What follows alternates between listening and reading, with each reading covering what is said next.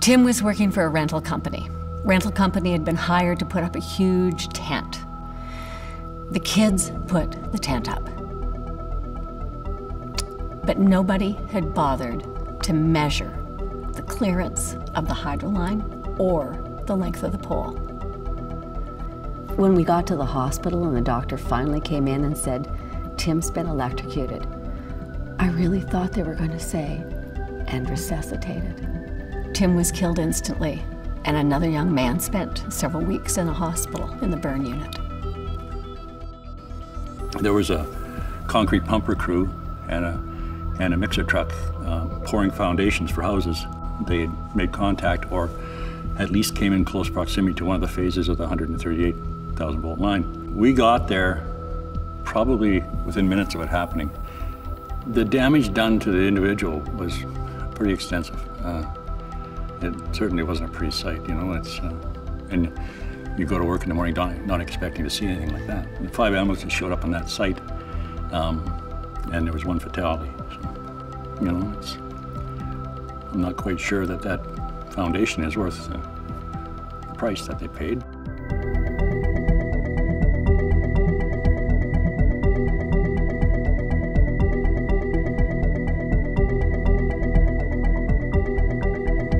Most people that uh, get hired off the street, they probably don't have a, a clue, an idea about electricity. All they know about is they come home, flick the switch, lights come on. People don't seem to understand what the consequences are unless you see it firsthand or hear about it. The, the unfortunate part with our job is if you make an accident, you, not, you might not be going home.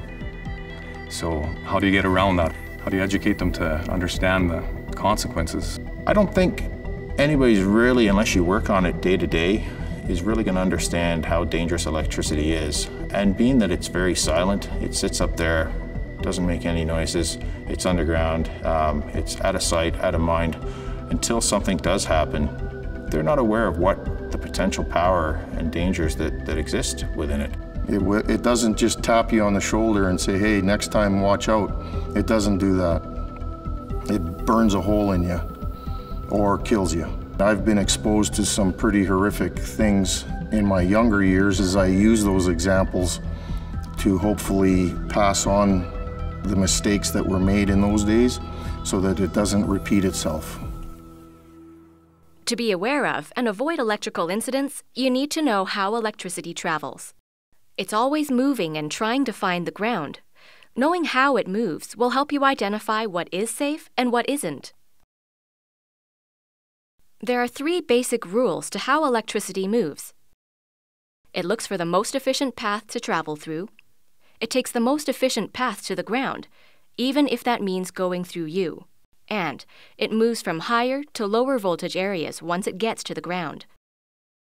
Electricity actually dissipates the same way ripples do when you throw a rock into water. When an electrical charge travels through ground, its voltage levels drop as it moves out from the source.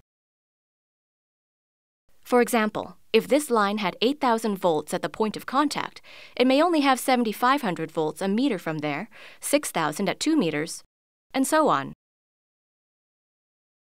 This affects you because if you stood with one foot on one voltage level and one foot on another, the electricity would see you as the most efficient way to travel and would travel through you. This difference in voltage levels is called step potential Step potential is the term used to communicate the danger of walking close to an electrical current in the ground. It's literally referring to how, when your feet contact electrified ground, they create a potential conduit for electricity to pass through. Never approach within 10 meters of any live exposed electrical source contacting the ground. You can also be shocked by touching an electrified object, like an exposed wire or an electrified machine, your body will become the path the electricity will flow through to get to the ground. The danger of touching an electrified object and creating a path to ground is called touch potential. Your best defense is to stay away from electrified objects, or if you are in the danger zone, shuffle away at least 10 meters. But if you're in or on a vehicle that's been electrified, the safest thing to do is stay put. Only exit if it isn't safe to stay where you are for example, if the vehicle's on fire. Step and touch potential are important to understand when contact has been made. But before contact, the best way to avoid incidents is to prevent them. You can do this by working at a safe distance of 10 meters or the length of an average city bus from any underground electrical equipment. For overhead power lines, you should work at least 7 meters away to stay safe, and stay clear of any equipment or vehicles to eliminate touch potential. Remember that without approval from your local electric utility provider, you should maintain these limits while working. If you have approval and locates and must work closer, be aware of the heightened danger. Also, ensure you dig by hand or hydrovac if you're within one meter of underground equipment.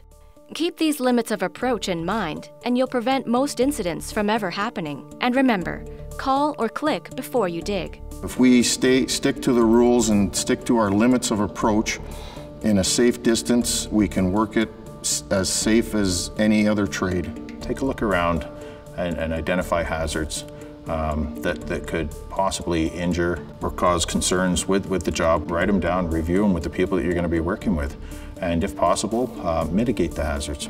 We want to make sure that uh, you take that second to focus and concentrate and realize, you know, there are potential dangers in here that I, I could possibly be injured or killed. Not knowing what you don't know can kill you. And you gotta ask. If you're involved in an electrical incident or just a bystander, you need to know how to respond safely. Always follow these life saving rules. Stay calm and stop working. If you are in or on a vehicle, never leave it if it's in contact with an energy source, unless there's a fire or some reason it's not safe to stay. Treat all potential conductors as if they're still energized. Call 911. They'll notify the utility provider in your area. If you're not in or on the vehicle that made contact, stay at least 10 meters, one bus length away, and wait until a utility employee has given you permission to enter the area. Are you in the vehicle that made contact? If it's still running and it's safe, break contact by moving the vehicle at least 10 meters away, then park and shut down. It's also important to ensure no one else enters the danger zone. Secure the site and keep others well outside the 10 meter area. Remember, they might not be aware of the hazards or how to respond safely. If you're in an energized vehicle, don't call to others to come help you. Warn them not to approach and do your best to ensure they stay 10 meters away. Most of the time, following these rules will keep you safe until the situation is secured. Sometimes, though, staying in the vehicle won't be an option. The most common reason for this would be because your vehicle is on fire. It's in these cases when you need to escape. First, exit the vehicle. Be sure to do this in one movement. You need to jump away and land with both feet close together without touching the vehicle or stumbling. If you contact the ground and the vehicle at the same time, or stumble and spread your feet, you will likely be shocked. Once on the ground and free of the vehicle, you need to get to a safe distance. Don't walk, instead, shuffle or hop. If your feet separate enough to contact different voltage levels in the ground, you'll be shocked. Keep your feet close together until you gain at least 10 meters of distance, the length of a bus, from the vehicle or contacted power line. Also, ensure you don't lift your feet while shuffling. Do this, and you should be able to escape safely. But remember, this is a last resort. Your safest course is to stay in or on the vehicle. Well, the first thing you're going to want to do is think of your own personal safety before you dive into to obviously help somebody else. You definitely don't want to run into a situation where you're putting yourself in harm's way. Uh, don't go running into the scene unless you know that it's safe. There's been times where the power line is down and it might not be arcing and sparking on the ground, but it could still be energized. Electricity can be hard to understand. For the most part, it's invisible, and so are the hazards. But it's important to recognize these hazards and to be serious about safety around electricity. The two hazards are shock and arc flash. Shock is pretty simple to define. It's when electricity moves through someone's body. The effects of shock can be hugely different, though. It all depends on the amperage you're exposed to. Different amperage or current levels will have a different effect. But even at a very low level, less than the average set of Christmas tree lights, a shock could result in death. If you are lucky enough to escape alive, you can still suffer resistance burns. These usually occur in the areas of your body where current entered and exited and can leave affected areas burnt and dead. That is the most horrific thing you could ever see, is watching somebody be electrocuted. It cooks you from the inside out. An arc flash, on the other hand, is really two hazards the flash of light and heat an electrical arc causes, and the blast that follows when the arc is broken. The light and heat from an arc flash are intense and could reach up to 20,000 degrees Celsius. That's hot enough to melt metal. The arc blast creates a sound wave of 160 decibels, which is like putting your head inside a Boeing 747 jet engine. This is followed by a pressure wave of more than 350 kilograms per square meter. The blast shoots out vaporized hot gases, molten metal, and other shrapnel at speeds in excess of 1100 kilometers per hour.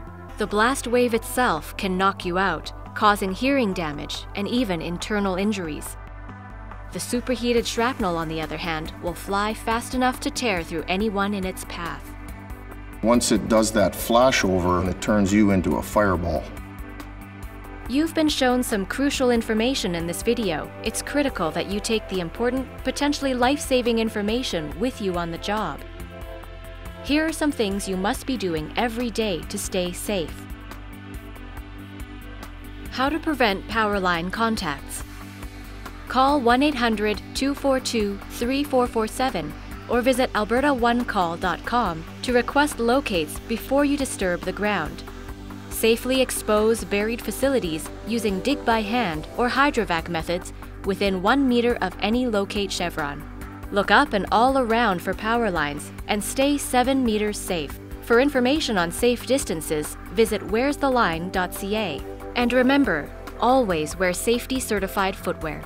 If you come in contact with a power line, stop all work and call 911. Move 10 meters away from the contacted power line by shuffling or hopping while keeping your feet together.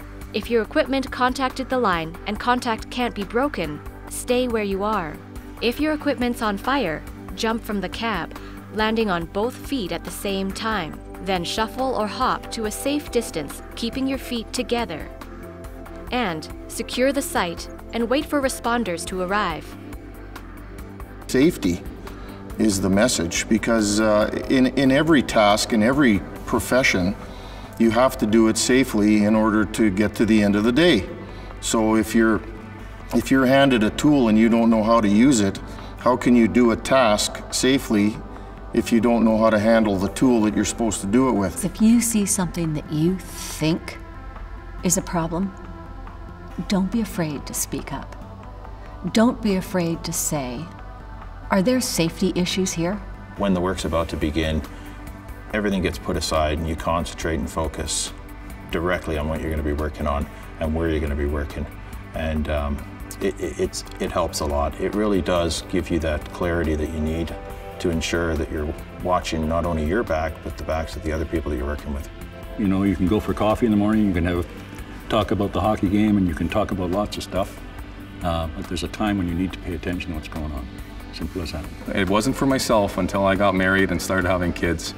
And that's when I realized, you know what, I gotta, I have to make it home at night. I have a family, and if a guy is thinking about his job, his task, he uses the proper barriers, proper equipment, he's gonna go home safe. Incidents involving contact with electrical lines or equipment can result in serious injury or death. By working together, your organization and ENMAX can help ensure safe conditions for everyone working near electricity. For more information about our tutorial or to request a free heat session for your workers, please email safety at enmax.com or call 403 514 3700. Thank you for your commitment to safety.